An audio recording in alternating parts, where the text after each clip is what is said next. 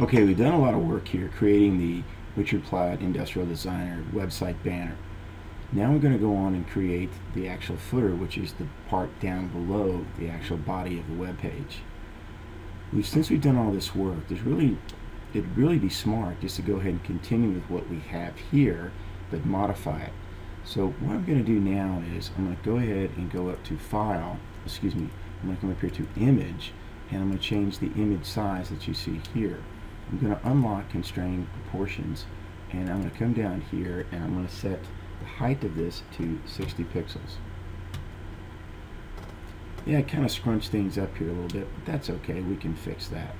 So what I'm going to do now is I'm going to keep uh, the Richard Platt layer here, but I'm going to take the rest of the layers here and I'm going to get rid of them. First of all, I need to unlock them since I'm in Photoshop. Just come back here and unlock all the layers.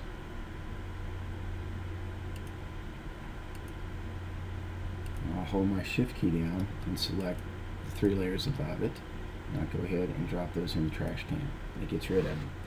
The reason I'm keeping the Richard Platt one is because I like the layer style that I have here.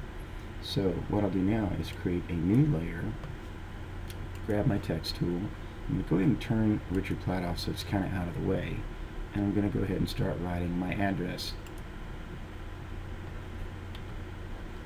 Go ahead and delete that here.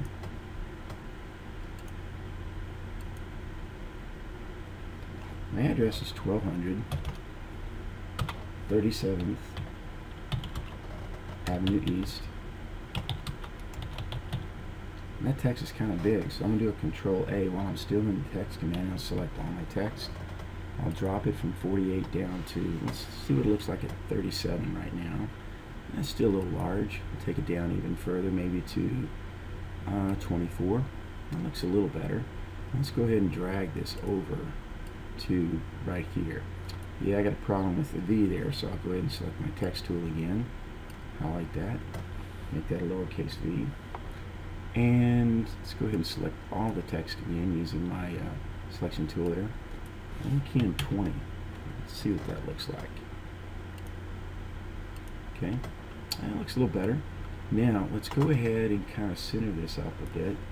And we'll come back to the uh, Richard Platt layer and do a right mouse click. And we're going to copy that layer style. Then we're going to come up here to the 37th Avenue one and we're going to paste that layer style. So they put that layer style in there. Looks pretty good. Now, instead of going through all the settings again, I'm going to take the uh, 1237th Avenue layer, right mouse click, and I'm going to come up here and duplicate that layer. Except this time, I'm going to key in Bradenton.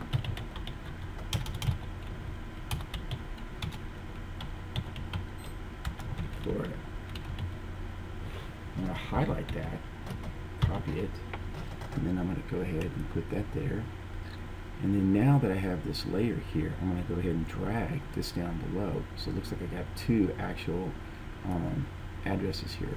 Go back to my text tool, highlight that, Control A, and then key Control V, and it puts Bradenton, Florida in there. I'll do a space, 34208 is my zip code. And that looks pretty good. Now I'll go ahead and collect, do that and save it. Now the Richard Platt layer, I really don't need anymore. I guess I should have created layer 1 as well, so I'll get rid of both of those. First of all, unlock Richard Platt.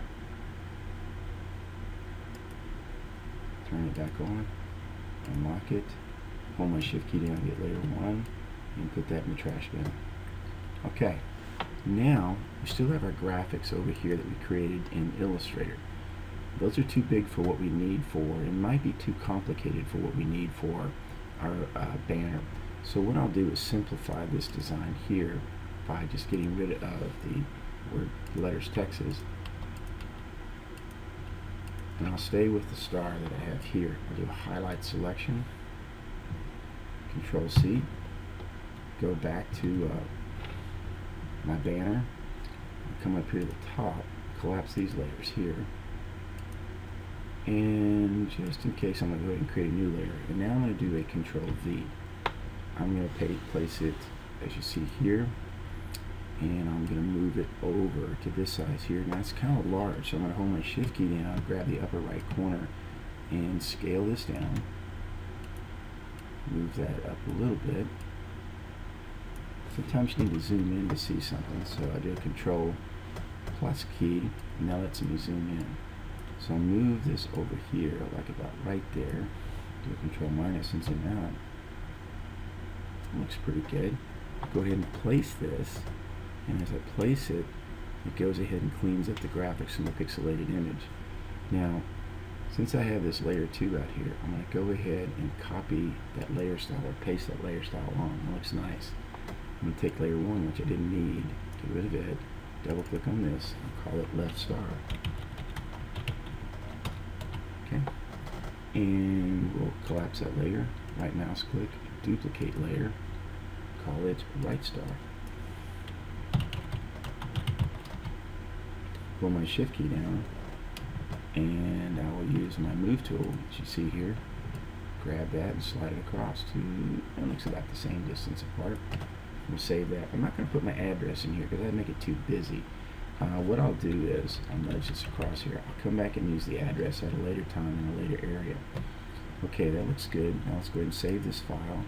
I'm going to do a save as, and instead of being website banner, I'll highlight this, uh, letter banner, I'll call it website footer. Okay, two R's, I'll get rid of one of those. Always in your file structure, make sure you use everything lowercase and no weird characters. Just use the underscore if you need to put a space in there. Because that way the web servers that you host your site on will be able to see it easier. And you won't have as many file manipulation problems and file naming problems.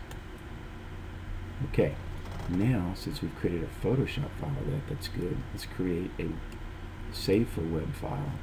I've got it set to ping, 60 is fine. My, my size of that's going to be 13.38 kilobytes. Go ahead and save that. Same location, hit save. Okay, so now we finished our banner.